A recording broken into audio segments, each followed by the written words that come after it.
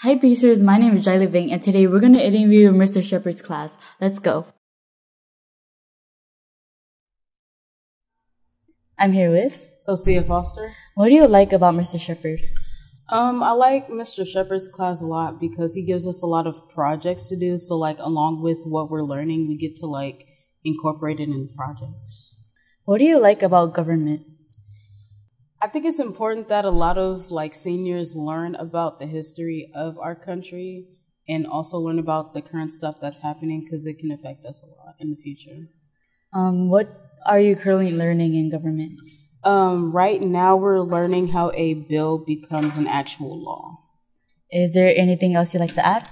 Um, nope. Just have fun in Mr. Shepard's class. He's a really cool teacher. Thank you for your time. You're welcome. I'm here with Mr. Shepard. What is government about? Government is an institution about that sets public policy for the entire country, and it's a class that all my students need to pass to graduate. Do you think this class will help other students in the future?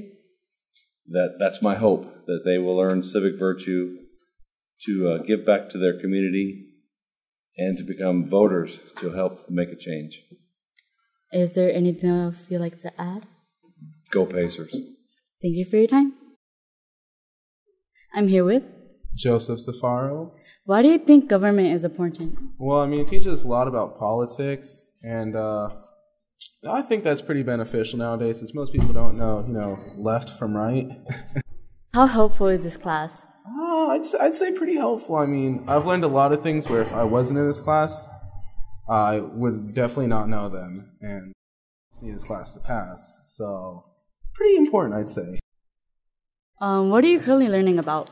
Uh, recently, as in yesterday, we have just learned how to uh, balance a budget, which pretty helpful, I'd say, for you know later in life, in case you need to reduce payment on stuff. So, yeah, we learned how to balance a budget recently. Is there anything else you'd like to add?